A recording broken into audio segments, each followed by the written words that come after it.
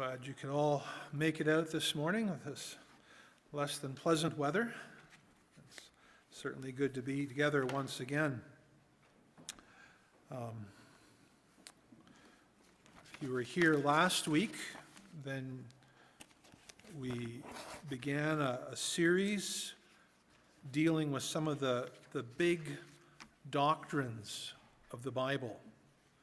And I emphasized last week that sometimes people think of doctrine as, as dusty and dry and maybe something for theologians but not for ordinary people. But these doctrines that we're going to be speaking about have very real life applications. And they are important truths for us to, to at least try to begin to grasp. And some of them, admittedly, are very, very complex, very difficult. But I mentioned the, uh, the words of the Lord Jesus, where he said that you shall love the Lord your God with all your heart, with all your soul, with all your strength, and all your mind. And we're encouraged to think. We're encouraged to, to use the brains that God has given us, to wrestle with the things that He has laid down for us in His Word. And, and indeed, some of them are very complex and great minds, far greater than mine, have wrestled with them over the centuries and um, are still wrestling with them. And I know I like things neat and tidy, black and white. I'm an accountant, things have to be orderly, and ambiguity is hard. And yet, God, in His wisdom, has made some things ambiguous and, and not as neat and tidy as we would like. But that's the God that we have, and we, we wrestle with that and we, we accept Him for who He is. And so this morning, we want to think about the doctrine of the Trinity. I should have been better prepared and had this on an overhead, but this is an ancient symbol that was used to speak of the Trinity. And you'll see this on ancient crosses and tombstones and so on. And obviously, you've got the three parts all equal. And that's, that's the essence of the Trinity that we have one God, yet manifest in three persons. Three and yet one. And how do we wrap our minds around that? How can God be three Father, Son, and Holy Spirit, and yet be one God? Is that not three gods? No, it's one God. Someone has said that if you try to explain it, you will lose your mind. But if you try to deny it, you will lose your soul. And so this morning, we're going to try and at least grasp or wrestle a bit with what does the Trinity mean? And, and especially as we look at the scriptures, do we see this in the Trinity? Is this something that is this something that's made up, this idea of the Trinity, or is this really in the scriptures? So we're gonna we're gonna think about what does it really mean? But then the bigger question is, well, so what? God is a Trinity. So what? What difference does it make? How does that impact my life in Heidelberg in 2022? And so we're going to think about a few practical applications of the fact that God is a Trinity. I'd like to begin by reading a portion in John's Gospel, chapter 17. And I'm not going to in any way expound this chapter, but in this chapter we have the prayer of the Lord Jesus just prior to going to the cross. And we see in this prayer the relationship between the Father and the Son. And I'm just going to read a portion, not all of the chapter. John chapter 17, verse 1, I'm reading from the New English translation. When Jesus had finished saying these things, he looked upward to heaven and said, Father, the time has come.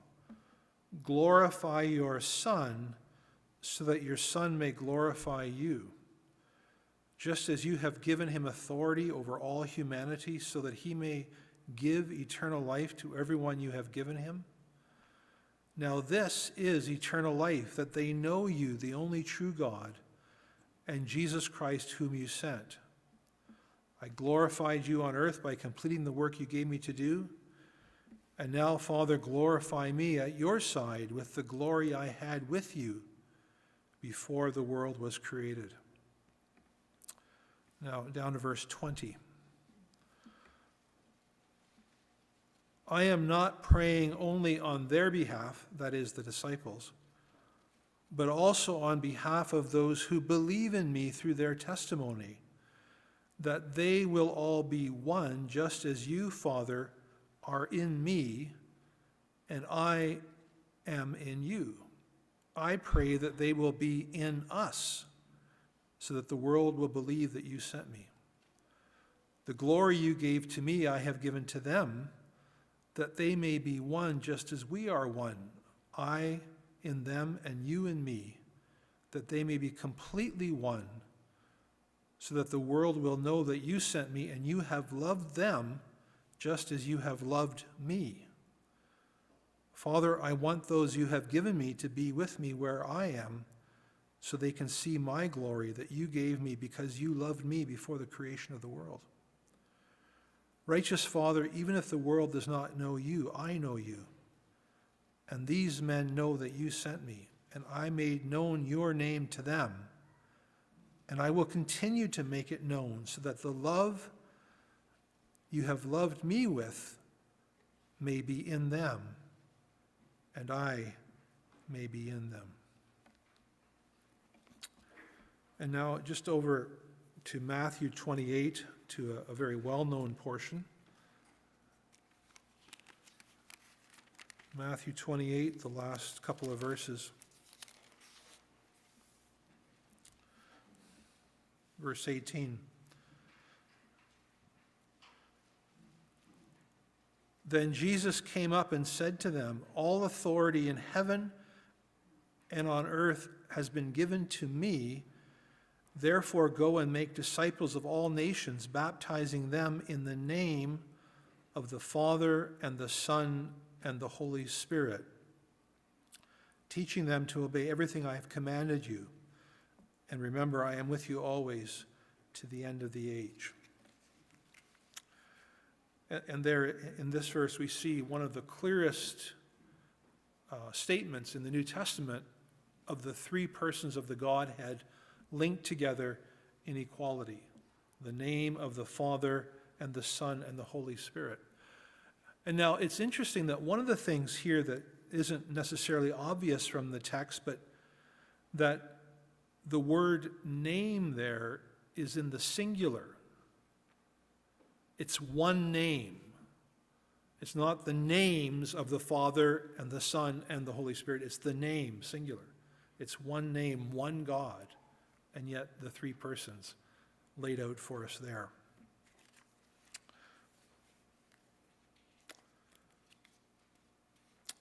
So, as we think about this question of, of the Trinity, we have three persons God the Father, God the Son, God the Holy Spirit. I don't think that there would be many that would question that the Father is God. Um, the Lord Jesus uses the term Heavenly Father more times in his gospel by far than any other writer. And, and he uses it in a way that is really kind of interchangeable for, for God. And so, so the Father is God, is fully God. But then the Lord Jesus is also fully God. And, last week we thought in detail about the Lord Jesus, both his, his deity as well as his humanity. And I mentioned a number of ways that we see his deity. We, we talked about his power over the forces of nature, calming the storm on the sea, um, how he could heal sickness, he could cast out demons. He even showed his power over death by raising the dead. He forgave sins. He received worship. All of these things are marks of his, of his deity. One thing that I didn't mention last week, but that is, is very significant, in Matthew chapter 26, when the Lord Jesus is on trial before the Sanhedrin, and the high priest basically says, I charge you under oath. Tell us, are you the Son of God? And what did Jesus say? It is as you say. Yes. He did not deny that he was the Son of God. He didn't say, no, no, no, it's some kind of mistake. I was never claiming to be God. He said, no, it's as you say. And he went on to quote from Daniel chapter 7 a portion that very clearly linked him to the Messiah, where he says that you will see the Son of Man coming on the clouds of heaven. Well, that's exactly what Daniel 7 says. And the Son of Man was a term that the Jewish Sanhedrin understood to refer to the Messiah and to a, divine Messiah. And Jesus said, That's, that's me. And, and the response of the high priest was he tore his clothes and he said, Blasphemy. He understood clearly that Jesus was claiming to be God. Um, many times, um, different false cults and religions will say, well, Jesus never claimed to be God. He absolutely did. And this scene before the Sanhedrin is one of the clearest. And so the Lord Jesus is fully God. But then we have the Holy Spirit as well.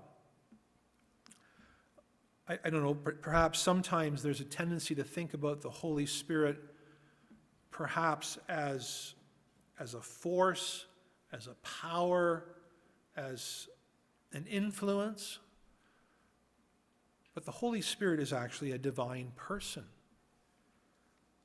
Um, we read about being able to grieve the Holy Spirit. You don't grieve a force. You, it talks in um, Acts 5.32 that, that we are witnesses of these things talking about the resurrection, and he says, and so is the Holy Spirit.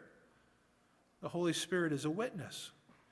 In Romans 8, it talks about the Spirit interceding for us with groanings that cannot be uttered.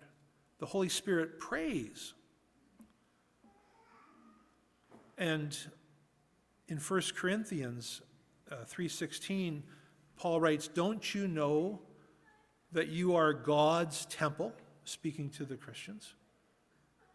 Well, why is that? Because the Holy Spirit lives in you.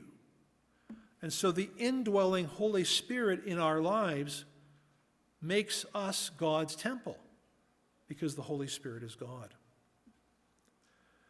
And then in John 14, as the Lord Jesus is talking to his disciples and he's saying, I'm going to be going away, and they're sad, and, and he says, Well, understand that unless I go away, the Holy Spirit cannot come. And he describes him as another comforter or another advocate to be with you forever. The Spirit of truth, he resides with you and he will be in you. And, and, the word that he uses there for another, I guess in Greek there are two words for another. One is another of a different kind or another of the same kind. And here it's the word another of the same kind. The Holy Spirit is like me, the Lord Jesus is saying. And He's going to come and be with you and be in you. And, and, well, if you say that the Holy Spirit is less than God, then how can Jesus be saying, well, that He's another of the same kind? It'd be kind of like me saying to, my, to our kids when they were younger, okay, we're going to go to Canada's Wonderland. And then a little bit later, I change my mind and say, well, we're going to do something just as good. We're going to go to the splash park in Waterloo. Well, it's kind of the same, but it's not the same. It's not of the same parallel as Canada's Wonderland, at least in the eyes of kids. It's not another of the same kind. Well, the Lord Jesus saying the Holy Spirit is another of the same kind. So, Father, Son, Holy Spirit, all three fully God and yet united together as one God. So, as we, as we think of, of the three persons of the Godhead, are there other references in Scripture that would teach that, in fact, this idea of a Trinity is right?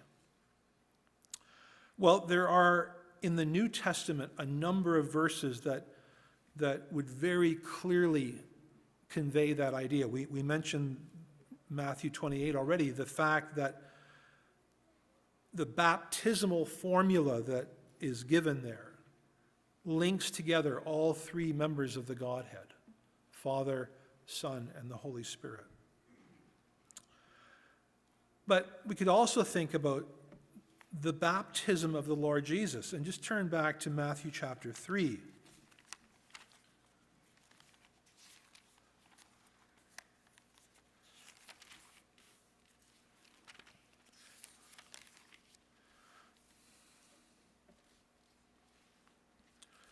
Matthew chapter 3 and verse 13.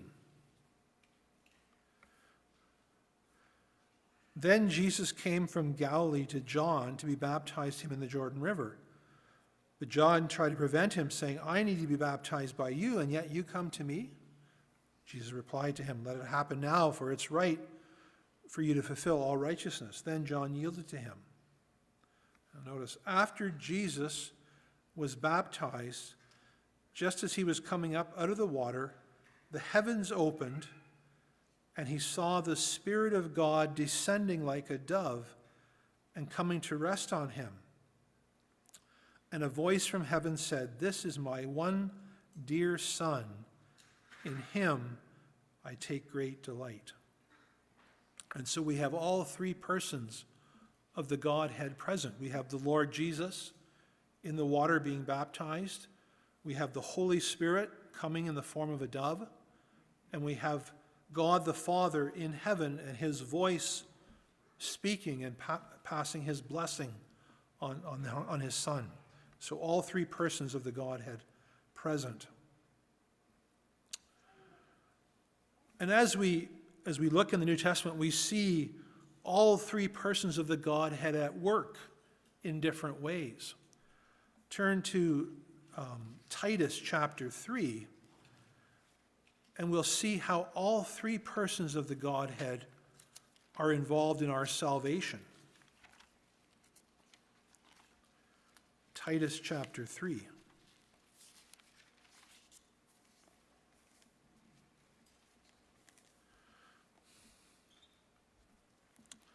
Titus chapter 3 and verse 4.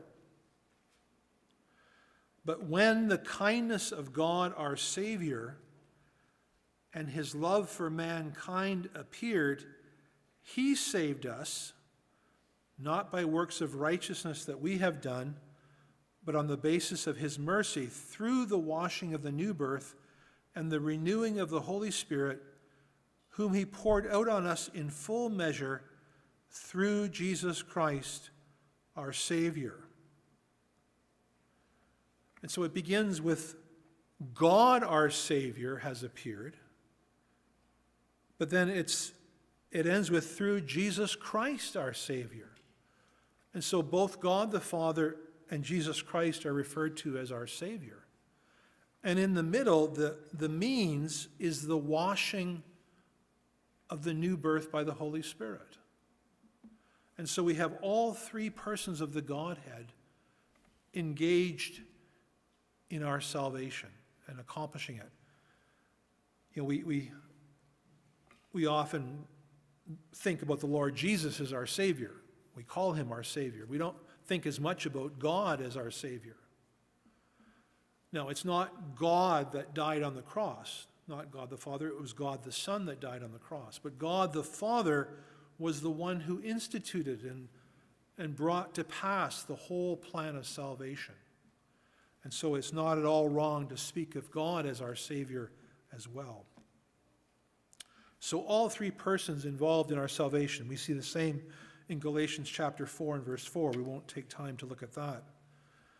Then over in 1 Corinthians, we see all three persons involved in giving gifts to the church, equipping believers for ministry. 1 Corinthians chapter 12 and verse 4.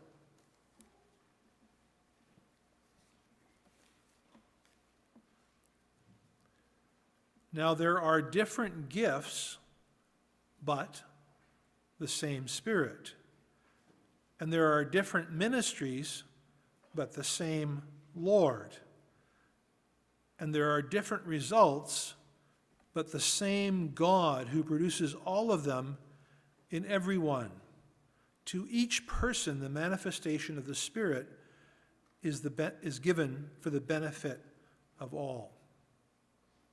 And so, again, here we have all three persons of the Godhead the, the Spirit, the Lord Jesus, and, and God the Father.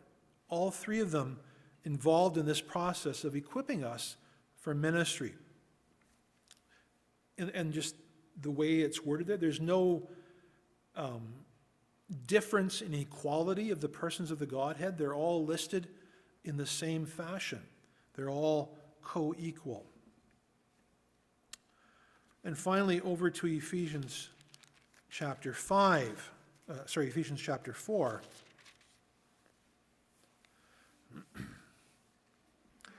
And again, verse 4. You notice all these are, are verse 4s. I'm not sure why that is, but Ephesians 4 and verse 4. There is one body and one spirit, just as you too were called to the one hope of your calling, one Lord, one faith, one baptism, one God and Father of all, who is over all and through all and in all.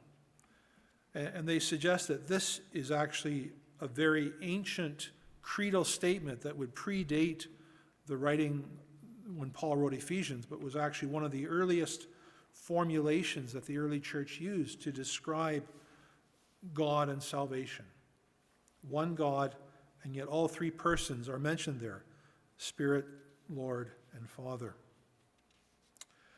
And we could also look at, at 2 Corinthians 13 and 14, where there's a benediction that says, The grace of the Lord Jesus Christ and the love of God and the fellowship of the Holy Spirit be with you all. Again, all three persons um, mentioned together, co equal. So there, there should be no doubt in our mind that this is clearly a teaching in the New Testament. It is, it is seen over and over again. And, and, and as we read the New Testament, it, it seems very clear that it views the members of the Godhead as equal, as equally God in every respect. And certainly, John's gospel brings that out so powerfully as the Lord Jesus talks about the Father and the relationship between the Father and the Son. But then that raises the question what about the Old Testament? What about the Jewish understanding of God from the Old Testament? The Jews very much resisted the idea that Jesus could be God. They said there's one God, not two gods or three gods, one God. And of course, we know the, um, the Ten Commandments begin with that very strong statement The Lord is our God, the Lord is one God. You will have no other gods before me. And so the emphasis there is on the oneness of God. So, how do we reconcile that with the threeness that we see in the New Testament? Is there a contradiction there? Well, it's very interesting as, as we dig into the Old Testament that we see various um, intimations of the Trinity. It's not categorically stated, it's not brought out as clearly as in the New Testament. Somebody has said that the Old Testament is like a room that's fairly dark and there's no light in it. And it's actually a room that's very lavishly furnished, and there's fancy things on the wall and nice furniture, but you go into the room and it's kind of dark and you can't really see. But when you shine the light of the New Testament into this room, then all of a sudden you see all of the, the nice things that are there in this room. And as we look back at the Old Testament with our understanding of God that has been revealed by the Lord Jesus, then we begin to see things in the Old Testament that perhaps the Jewish people at the time never really saw. I'm reading a book right now by a man named David Mitchell, who's a Jewish believer, and the book is simply called Jesus. And he spends quite a bit of time in the Old Testament showing how there are all of these intimations of the Trinity of the Lord Jesus as Messiah being fully God. And, and it's quite fascinating. One of the things that he points out is here in this verse that I just quoted, the Deuteronomy 6, the beginning of the, the Ten Commandments, um, that there is this grammatical construction where you have a, a singular and a plural together. And, you know, we, I, I might say that, that Sharon and I, that we are coming to church this morning. But the way the grammar is used here in the Old Testament, it is that we is coming to church.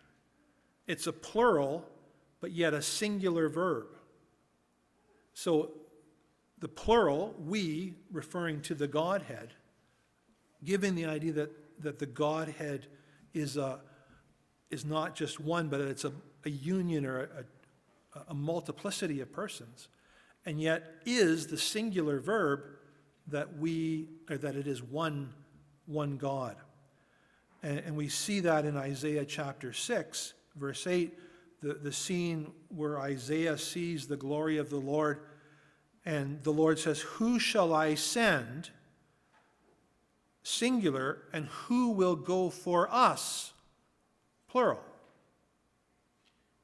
Singular and plural, both speaking of God.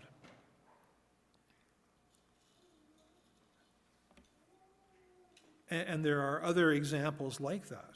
Even in the creation account, let us make man in our image let us, plural, make man singular. Well, why is that?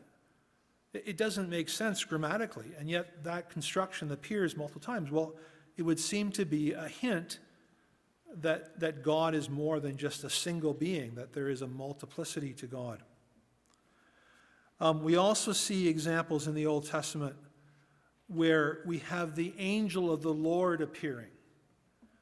Um, perhaps one of the ones most familiar to us is the story of the burning bush. And it says that the angel of the Lord spoke to Moses out of the burning bush. And we know how Moses goes over, and the angel says, Take your shoes off, your sandals, because this is holy ground. But then it says that when the Lord saw that, not the angel of the Lord anymore. But when the Lord saw that, he said, I am the God of your father, the God of Abraham and Isaac, and so on. And so all of a sudden, the angel of the Lord is not speaking anymore just as an angel, but he's speaking as God. And we see the same thing in Genesis chapter 22 when God told Abraham to go up on Mount Moriah to offer his son as a sacrifice. And it says, The angel of the Lord called to him and said, Abraham, hold, hold off, don't kill your son. The angel of the Lord spoke to him. But then the angel of the Lord says, Now I know that you fear God. And, and it's the voice of God speaking.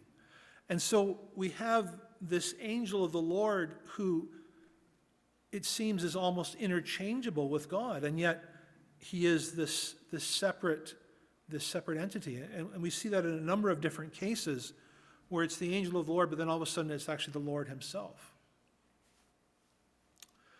Just a couple of more of Old Testament ones. Um, Isaiah 48, um, verse 13 and 16. You, you can look at that perhaps on your own and see again that all three persons of the Trinity are, are there. Our time is going quickly. I promise to finish early today. Um, there's a number of bad illustrations. Okay, we've talked about scripture that talk about the, the Trinity, but then a lot of us have probably heard illustrations about the Trinity. And, and most of the illustrations are bad illustrations. They don't really do it justice. Perhaps one that you've heard of is that it's like an egg, where there is a shell and an egg white and a yolk. All three are together to make one egg, but there's three parts to it. And that's the way the Trinity is God the Father, God the Son, God the Holy Spirit. Well, what's wrong with that picture of the Trinity? Why is that not a good illustration? The reason is that what we're talking about are three parts to an egg. They're not separate things in and of themselves. They, they don't have a separate existence. If they're not part of the egg, they're not really, they're not really anything. Um, what about the idea that the Trinity is like water? It can exist in a solid form, ice, it can exist in a liquid form, or it can exist in a gas, steam. Is that like the Father, Son, and the Holy Spirit, one God, but in three different forms? Well, that's really an ancient heresy called modalism, which really denies the separate persons of the Godhead. They're just saying that Father, Son, and the Spirit are different modes rather than separate persons. And modalism would talk about how they're successive, not simultaneous. So that doesn't really do the job. What about a three leaf clover? You've got one clover, but three sort of parts to it. And uh, it's said that St. Patrick used that to teach the Trinity. But really, it's still just one clover. It's not three clovers. It's not three beings. It's one being. It's one thing. I would suggest that perhaps a better illustration, and certainly it's not a perfect illustration, it's, it's, it's maybe better, is, is marriage, where you have a husband and wife, two separate individuals, and they're united together in marriage. The scriptures say they become one. And, and I know that many times our kids, you know, they will say, Well, I told mom this, thinking that that means that I should know it too. Now, in fact, maybe I don't know it, or they've told me and I haven't told Sharon. But there's the idea that, well, I told one person, so this, this unity of my parents should know this. And, and, and perhaps that's a little bit closer to, to what we have in the Godhead. We've got three separate persons, and yet they're one. They're fully united. They fully know each other, and, and they fully always act together. Well, let's get to some applications. So what? God is a Trinity. What, what's the significance of that? Well, first of all, I think it's important that we be careful in our terms as we describe the Godhead and the persons of the Godhead. God has chosen to reveal himself in this way, that is who he is. Um, but we need to be careful about how we, we describe and use the terms of the Godhead. Sometimes I, I hear people praying and thanking God for dying for them. Well, it wasn't God the Father that died for them, it was the Lord Jesus. And I understand certainly the heart behind the prayer. And I'm not, I'm not belittling that in any way, but the terms are important. And it is the Lord Jesus that died, not the Father. Sometimes we hear people praying to the Holy Spirit. Well, we don't have any examples in the New Testament that I'm aware of where somebody prays to the Holy Spirit. We pray to the Father through the Son and in the name of the Son, but we don't pray to the Holy Spirit. The Holy Spirit is the one that, that prays for us and takes our prayers and presents them to the Father. Um, the imagery of the Father is that of a loving, caring benefactor, perhaps. Um, even in the Old Testament, where the term father is almost never used to describe God.